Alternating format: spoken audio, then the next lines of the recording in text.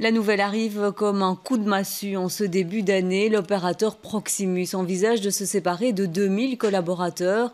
L'information n'est pas encore officielle. Marine Oldinan vous retrouve en direct du 16 rue de la Loi. La directrice générale de Proximus, Dominique Leroy, a été très rapidement convoquée chez le Premier ministre. Oui, et elle vient de quitter à l'instant le 16 rue de la Loi. Il y avait également euh, le président du conseil d'administration qui était présent, Stéphane de Clercq.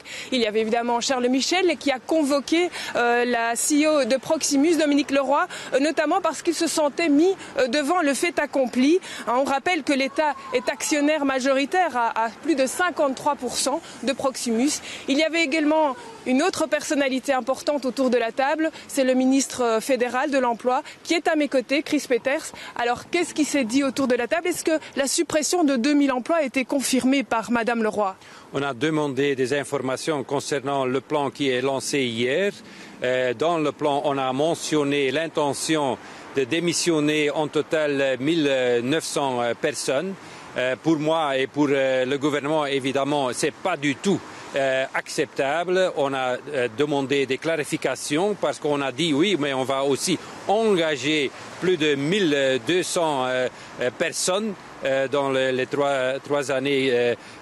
mais pour nous, évidemment, c'est pas du tout clair, c'est pas du tout acceptable et on va maintenant discuter avec les partenaires sociaux, avec les syndicats au sein euh, de Proximus, mais c'est bien possible qu'on va aussi organiser une réunion avec euh, les syndicats pour clarifier des choses, pour être sûr qu'on a bien compris l'intention et on a aussi bien compris les, euh, réactions des, syndicats parce que pour nous, maintenant c'est au niveau de, Proximus d'organiser un dialogue et pour nous, évidemment, un licenciement de plus de, de 1900 personnes, euh, c'est pas du tout évident. Alors, la raison euh, de ce plan serait notamment l'arrivée d'un quatrième opérateur.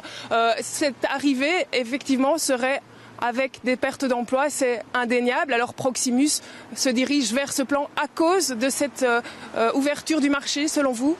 On a aussi demandé cette question et on, m'a dit non, il n'y a pas une relation directe entre les deux dossiers. Merci beaucoup. Il y a encore du travail qui vous attend. On le voit hein, pour l'instant, évidemment, euh, pas de déclaration officielle de Proximus. Euh, depuis ce matin, en tout cas, euh, l'action Proximus est suspendue en bourse. Un communiqué de presse devrait arriver demain matin, juste avant la réouverture de la bourse, peut-être pour clarifier la situation.